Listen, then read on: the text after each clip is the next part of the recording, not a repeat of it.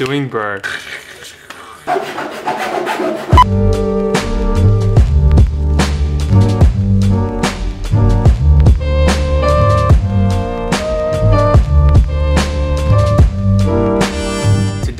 Very important because today we find out the fate and the future of the almighty AU Falcon. Today we're going to be doing a compression test on the AU, but before we even start doing that, I'm just going to quickly fix the chaser. We know exactly what's wrong with it. If you saw the last video, we found out that the wastegate actuator rod had fallen off the wastegate flap. So that means the chaser wasn't able to build any boost at all. We've also got to put everything back together. J-pipe's got to go back on. The wiring for the solenoid's got to go all back on. And we're going to roll this car out before we figure out what we're going to do with the AU Falcon. I will show you what's wrong with the Chaser. See if I can get the camera stuck in the little crevice that we need to get it to so you guys can see what I'm talking about. Oh my god. Oh, I shall show you the problemo. So can you guys see that little rod? I'm going to circle it on the screen. That rod slips onto the wastegate flap and you can see that it's just just on there. So there's a little bit of a bend. We need to put a little clip there so that it's connected up and then we should be good to go. Off camera what I was doing was using the air compressor right there to spray into the wastegate actuator vacuum line. So I was able to move that rod ever so slightly so I could slip the rod back onto where it's supposed to go. Let's see how we go. Should be pretty simple. I'm gonna use the cotter pin to tie it up. Chaser should be driving today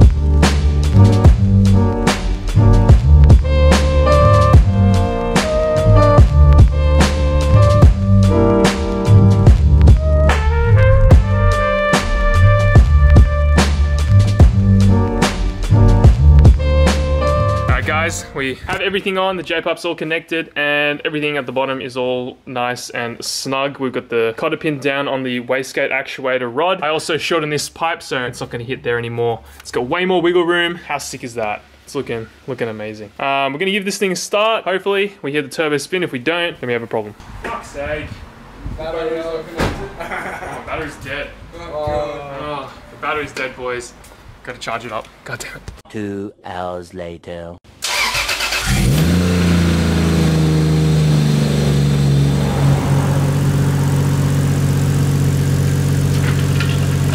Alright guys, we're all good. Also got the boys here again. Density. Density. Wasn't dosing before, now it is. Hell yeah. Hell yeah. Hell yeah. Keen, very keen. Very keen.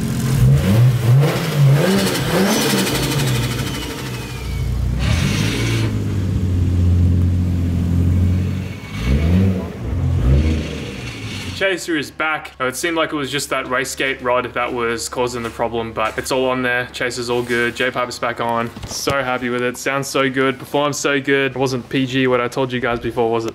It was not PG. Yeah, don't don't repeat it, bro. Don't repeat it. this Chaser, bro, does does things for me. Does things for me, boys.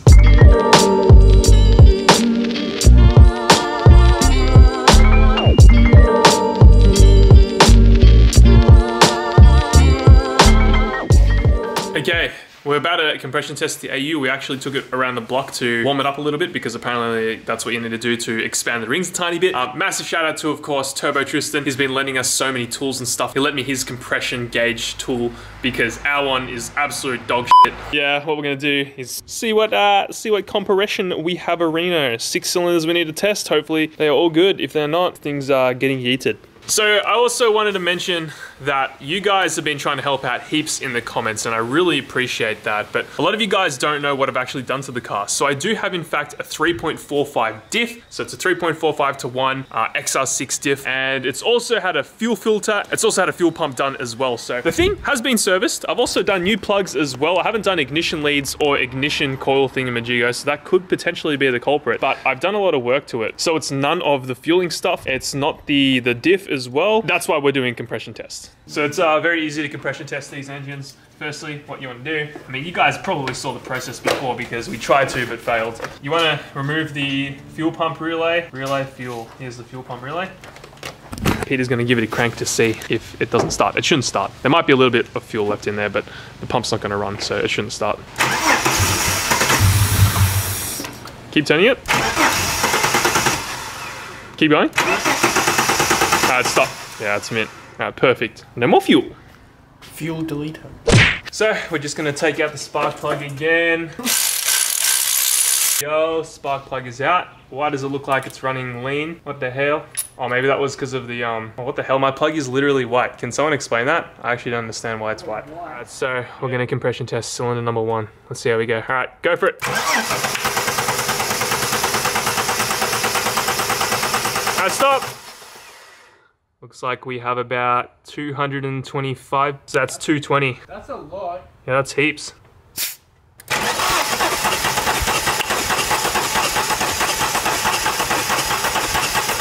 Stop. All right, this one's 200. So two, 200. Cylinder two, 200 PSI. All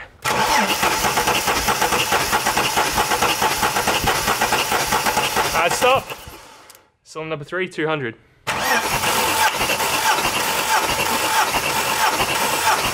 Stop. 230.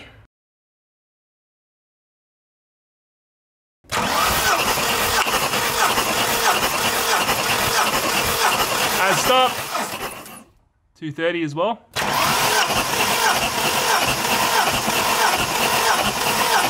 And stop. Also 230. So I'm actually unsure if I was doing that right because we didn't have all the spark plugs unplugged. And whenever I've heard a proper compression test, that's the proper sound it makes when we took off the all the plugs. So we're gonna just go ahead really quick and just run a compression test on all cylinders again uh, while the plugs are out and just see if they're different. All right, cylinder one, Peter.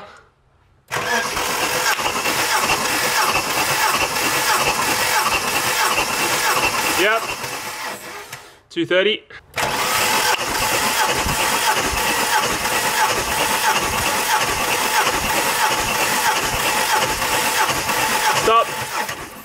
I think the engine needs charging, but cylinder number two is 220. So my compression seems good. 220? Yeah, I'm not going to bother doing the rest because we already did three without all the plugs yeah. on, did we? And everything was at 230.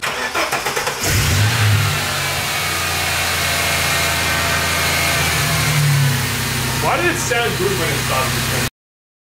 The AU Falcon feels faster. 100%. 30 kilo paperweight sitting on the nah, dude. seat. But let's replicate. I'll quickly go one, one side around the block. I'll leave you here again. yeah, dude, I don't understand what's going on. Maybe because I plugged the ignition lead on better. I don't know, but it's, it feels way faster. I don't know. Might be might be placebo. I'll get you to record. Let's have a start. First gear.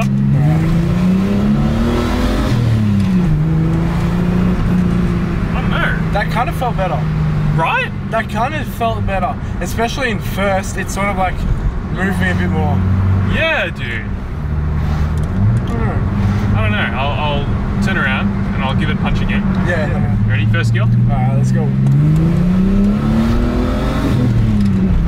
I don't know. That felt better. Really? I don't know. I maybe your optimism like came, but it felt faster. No, it's weird. All right, I'll do a second gear here. You ready? Three, two, one. I don't know. I don't know. There's Yeah. only one way to find out, and that's Race Naki, but I still feel like I'm going to lose against him. I think yours is still slower.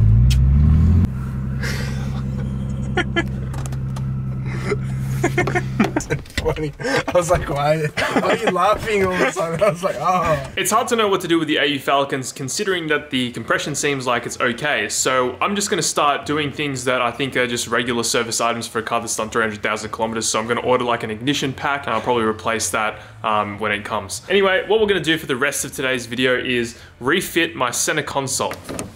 You can currently see my center console is entirely apart. I don't have anywhere to store my phone, anywhere to store my goods, my drinks, no cup holders. In order to clear the hydraulic handbrake, I'm gonna need to do some chopping. So what we're gonna do is start chopping this all apart. I've already taken everything apart. We're gonna delito the rear vents. So this is the rear vent uh, passageway, whatever you wanna call it. Um, and what I'm gonna do is just chop it off here and try to plastic weld up some of this so it's all sealed up and we only have front vents. As for here, we're gonna have to cut out probably a section of the console about there. We're gonna try to cut off as minimal as possible to make it look as standard as, and so we can also retain this little cubby where you can also chuck your phone to. See how we go.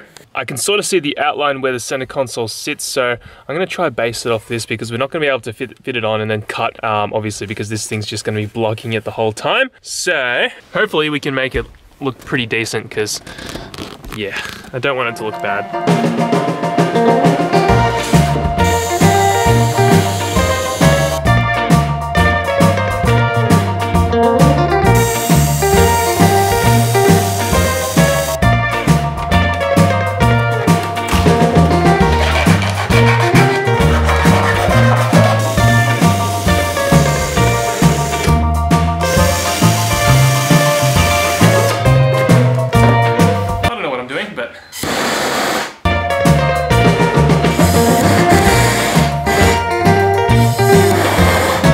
That failed miserably. I'm gonna just start chopping the console.